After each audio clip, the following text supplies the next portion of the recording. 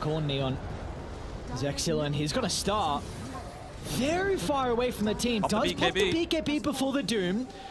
He's going to have Roger nearby to be able to play with as well.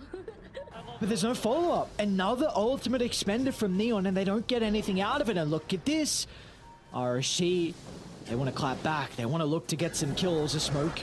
Trying to end. No! Oh, very nicely no. done, Fortune Soul.